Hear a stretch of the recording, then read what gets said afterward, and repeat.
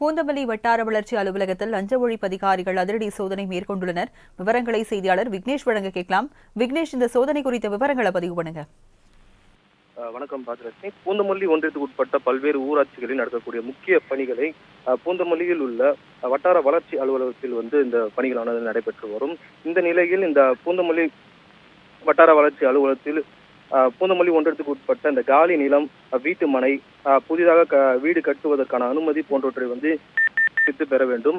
இந்த நிலையில் இந்த விண்ணப்பங்களுக்கு வந்து அதிக அளவில் இங்குள்ள அதிகாரிகள் வந்து லஞ்சம் வாங்குவதாக வந்த புகாரை அடுத்து ஆலந்தூர் லஞ்ச ஒழிப்பு போலீசார் சுமார் பத்துக்கும் மேற்பட்டோர் தற்பொழுது அதிரடியாக அந்த அலுவலகத்துள் நுழைந்து அலுவலகத்தின் முன்பக்க கதவை வந்து சா- அடைத்துவிட்டு தற்போது சோதனை நடத்தி வருகின்றனர்.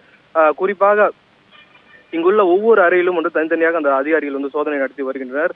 மேலும் ஆஹ், இந்த அலுவலகத்தில் உள்ள இருக்கும் அந்த பொதுமக்கள் யாரிடம் அதிக அளவில் பணம் வைத்திருக்கிறார்களா என்று அதிகாரிகள் தரப்பு நடத்திய சோதனையில் ஒருவர் வந்து ஒரு லட்சம் ரூபாய் ரொக்கமாக வைத்திருப்பது வந்து கண்டறியப்பட்டுள்ளது. தற்போது அவர் எதற்காக அந்த பணத்தை கொண்டு வந்தார் அதன் காரணம் என்ன என்பது குறித்து அந்த நபரிடமும் வந்து தீவிரமாக வந்து லஞ்ச ஒழிப்புத்துறை போலீசார் வந்து ஈடுபட்டு வருகின்றனர். குறிப்பாக இந்த லஞ்ச ஒழிப்புத்துறை அதிகாரிகள் இந்த சோதனை நடத்துவதற்கு முக்கிய காரணம் என்னவென்றால் இங்க உள்ள அதிகாரிகள் வந்து அதிக அளவில் வந்து இந்த லஞ்சம் பெறுவதாக வந்த தகவலை அடுத்து வந்து தற்போது இந்த சோதனையானது நடைபெற்று வருகிறது.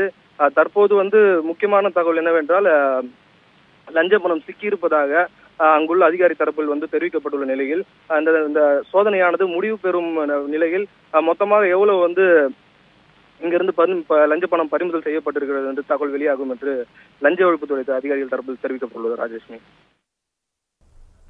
விவரங்களுக்கு நன்றி விக்னேஷ்.